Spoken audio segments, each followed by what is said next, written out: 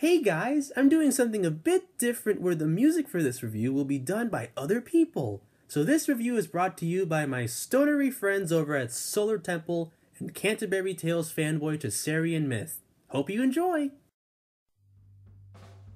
Let's fuck off with the pageantry here and get right to it. Ty Segall's Ty Segall. It's nothing too crazy, yet at the same time it's not bad at all and I can honestly say that for any of Ty's albums. His music works super well in a live venue or show, but studio wise, I can put this on in the background and it'd be nice, but I won't get a lot of enjoyment out of it. Then again, that's just my personal preference on that type of specific music. He'll do some little nice twists and turns from time to time, but at the same time, you get what you get when you hear a Ty Segall album, which is usually a raw and or aggressive, noisy, garagey, psyche rock album. If you like any of his other works, then you'll enjoy this. Fuck off. Neil Cicierega's Mouth Moods. The Lemon Demon himself is back with a new mashup comedy album, and bearing some songs, I didn't find myself laughing at this at all. Some of the humor is based around internet comedy, meme bullshit, and people who know me know that I don't like that type of bullshit. The novelty of how goofy and intricate these mashups are wear off on me after repeated listening.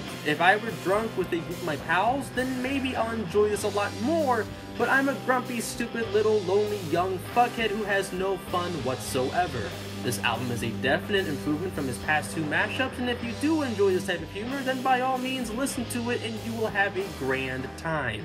Fuck off. Dungeon Synth Corner. Fortress of Mystery La Rose de Fer. It sounds like it should be an outsider album, but doesn't go too far off the cliff like Ekaloth Records of Canada. However, it does have amateur recording and Casio sounds that make it feel outsider, but there is some clear coherence in the mud of cheesy, low fidelity that masks this. For somewhat lengthy tracks that should make the listener feel uneasy, with how some of the Casio sounds are dubbed over one another, plus a loosey-goosey harp noise that repeats in the last two tracks, makes La Rose de Fer a weird but nice little listen. Moongate's Guardian, let horse be bridled, horn be sounded. I like summoning.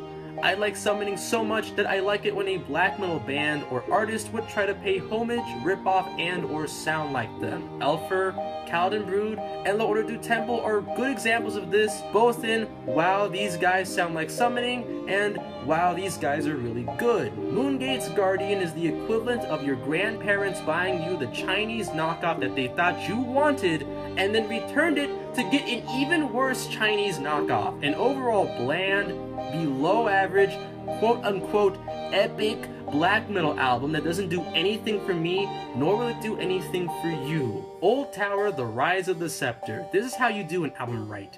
Sounding old school while not having too much glossy production that can ruin other albums. Two 14, 15 minute long tracks that definitely have a Mortiis influenced sound to it. Dark, medieval, brooding atmosphere is able to invoke wonderful dark fantasy-esque imagery.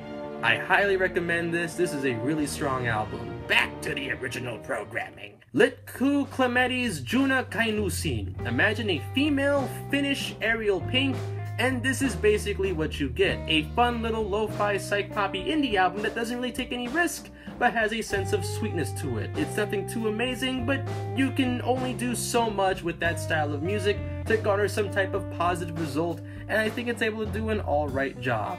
Fuck off. Bedwetter Volume 1, flick your tongue against your teeth and describe the present. Everyone's favorite Lil Ugly Mane. Lil Ugly Mane is back at it again with a wonderfully done experimental hip hop album that has these great ambient esque instrumentals and beats, an overall dark and scary atmosphere. If you love LUM, then you're going to enjoy this release. This is definitely an early favorite of mine for the year.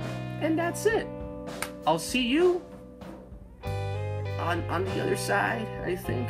I, I don't I don't know.